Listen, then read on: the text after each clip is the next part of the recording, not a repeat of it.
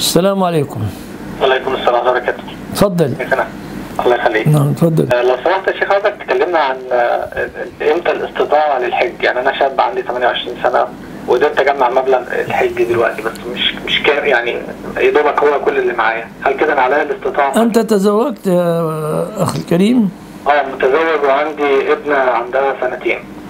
طيب لله عليك حج البيت إن استطعت إليه سبيلا فإذا كان عندك مال تستطيع آه. عندك مال.